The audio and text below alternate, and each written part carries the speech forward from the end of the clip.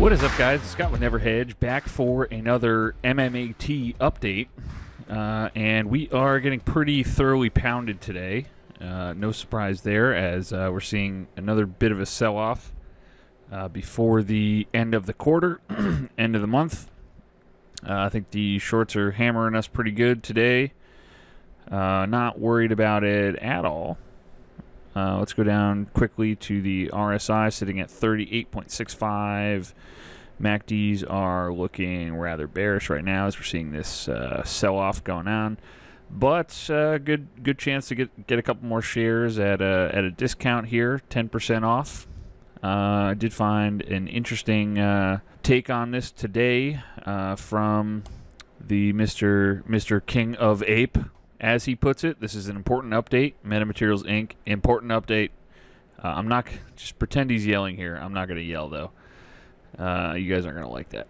Good morning. Hope all of you are feeling better today. So let's clear some things up. Many of you, a reverse merger margin call due to the merger, are now seeing that you're no longer in a margin call. This is because the clearinghouse changed the margin requirement from 100% to 50%, which should have been in effect prior to the merger, but it's a good thing that they adjust. Also, many are asking about their preferred dividend. All brokerages are waiting on allocation from the DTC and should make your preferred dividends available to you by Wednesday or Friday at the latest. The reason for this is due to the Apex slowly processing of the ACH. However, you should have provisional credit on your brokerages, and if you held June 22nd, 2021, or prior through June 25th, 2021, today will be an interesting day as many of you await to see if shorts cover. Stress again if you are here for a short squeeze, you may be disappointed. Keyword MMAT is not a meme, it's a company that will play a big role in the nanotechnology field as many and has many verticals. They work in EV, medical, optical, augmented, and mixed reality, to name a few. Expect partnerships and contracts this year in the EV market as well as medical field.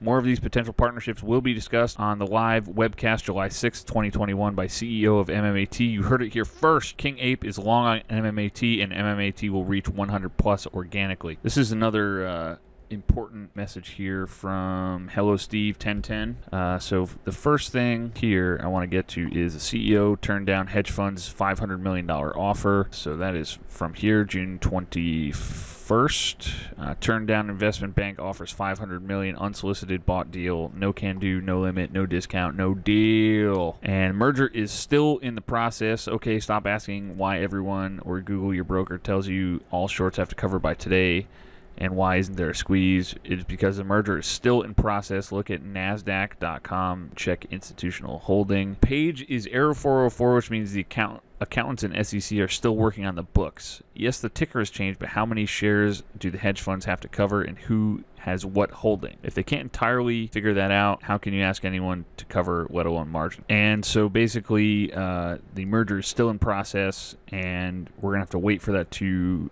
complete, which again could be as early as tomorrow, maybe July 1st, uh, the first of the month. Again, these things take a little bit of time. Uh, again, they had to change the ticker due to the T plus two rule, and we have a potential Tesla partnership. Uh, check out these posts. You guys will be very happy. Tesla and Meta TRCH connections and possible partnership. Stay calm. There's a lot going on behind the curtain. I know it sucks not knowing, but when the fog clears, it will be clear skies and sunny, and we will end on that positive note. Enough of this nonsense, guys. As always, please make sure you're subscribed to the channel for more updates on MMAT as well as other stocks and tokens we like. And I thank you guys so much for watching this far, and I'll see you in the next video.